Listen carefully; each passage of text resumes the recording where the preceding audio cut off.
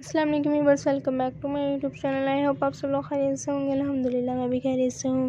Viewers आज की video में आपके लिए लेकर आई हूँ बहुत प्यारे प्यारे से बेबीज़ के पार्टी वेयर्स फ्रॉक्स के डिज़ाइन के आज लेकर आई हूँ। उम्मीद करती हूँ कि आप सब लोगों को जो पसंद आएँगे। प्यारे प्यारे से खूबसूरत से स्टाइलिश बेबीज़ के पार्टी वेयर्स फ्रॉक्स के डिज़ाइन के आज। ये आप किसी भी मौके वगैरह पर या किसी का यहाँ आना जाना तब भी आप अपने बेबीज़ को ऐसे ही प्यारे प्यारे से फ्रॉक्स इजली पहना सकती हैं।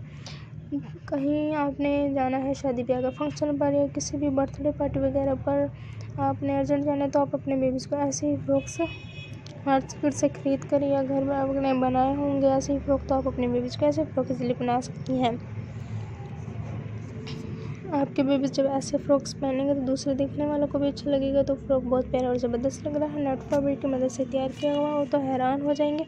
ये इसकी तो प्राइस बहुत ज़्यादा होगी जो उन्होंने मार्केट से नहीं ख़रीदा होगा तो आप घर बैठे हुए इसकी, मार्केट से इसकी प्राइस ज़्यादा होगी तो आप घर बैठे हुए भी ऐसी फ्रॉक इसलिए बना सकती हैं। प्यारी प्यारी से आप इस पर जब मेहनत करेंगे डिज़ाइनिंग करेंगे तो आपके बेबीज़ का फ्रॉक ही प्यारा लगेगा। जिस पर आप फ्लावर्स भी लगा सकती हैं।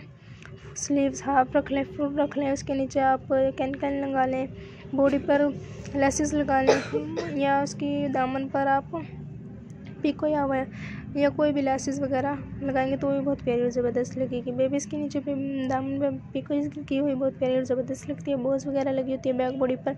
बैक बॉडी पर आप जब डिज़ाइनिंग करेंगे लेसेस लगाएँगी, या नेट फैब्रिक की मदद से डिज़ाइनिंग करेंगी तो उसके ऊपर आपको बहुत प्यारी सी बो वगैरह या कोई भी बच्चेस वगैरह लगाना होगा, जिससे थोड़ी सी खूबसूरती बढ़ जाएगी।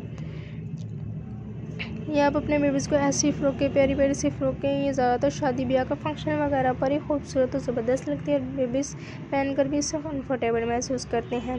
प्लीज़ आप इस वीडियो को लाइक करें शेयर करें कमेंट्स करें कमेंट सेक्शन में हमें ज़रूर बताएगा। व्यूवर्स आपको वीडियो कैसी लगी? अगली वीडियो कौन सी पेश की जाए?